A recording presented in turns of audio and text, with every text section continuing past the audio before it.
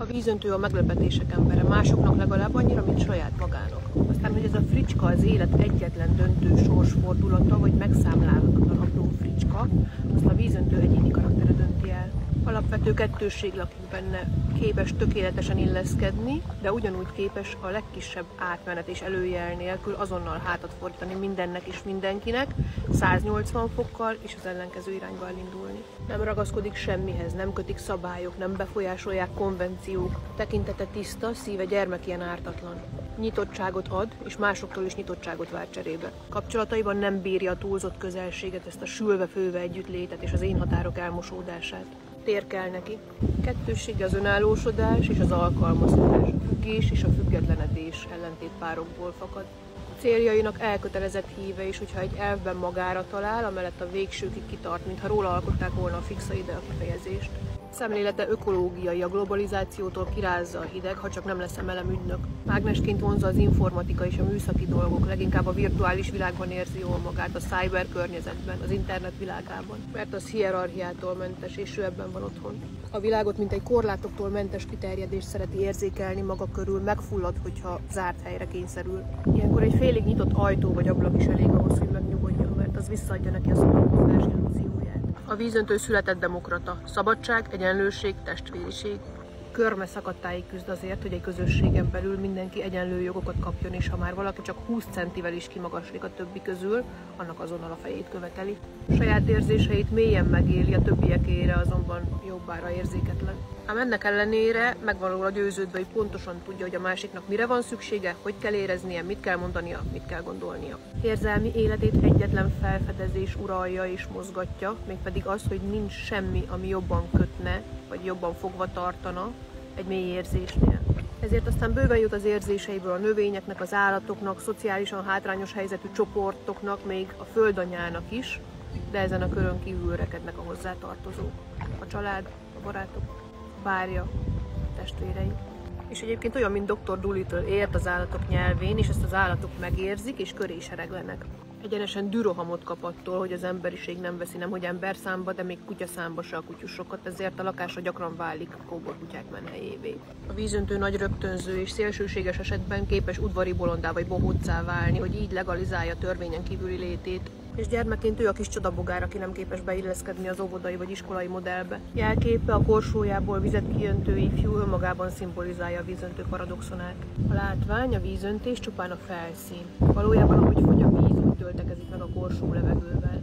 Ezen van a hangsúly. A levegő a vízöntő eleme. A vízöntő sajátos látásmódját tükrözi. A korsóba levegőt töltő.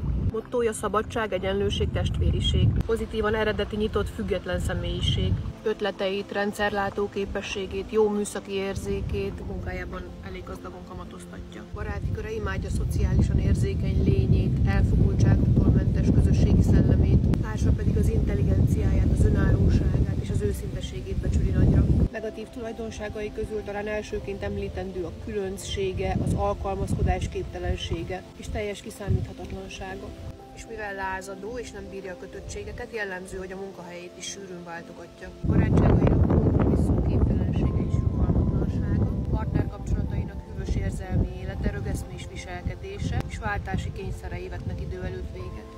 Gyermeki hang a fejében folyvást arra biztatja, hogy szállj ki. Ezért, ha belép valahova, azonnal a vészkiáratot keresi, és amint megtalálta, nyugodtan hátradől. Pámulatos ügyességgel bújik ki mindenféle kötelék alól. Két személyes játszmája a kaleidoszkóp, ami úgy néz ki, hogy a párkapcsolatban a vízöntő teljesen szokatlan szabályokat fektet le, majd a partner, hogy ne tűnjön egy vaskalapos ősköbletnek, ezt elfogadja, és átír magában mindent, amit eddig a párkapcsolatokról gondolt. Igen ám, de abban a pillanatban, ahogy a partner is élni akar a játékszabály a szabadság lehetőségével, azonnal átrendeződnek a szabályok, mint a kaleidoszkóp pici kövecskéjé. A bosszús és csalódott partner még fel sem mocsúdott, már is új játékszabályokkal és új megkötésekkel találja magát szemben.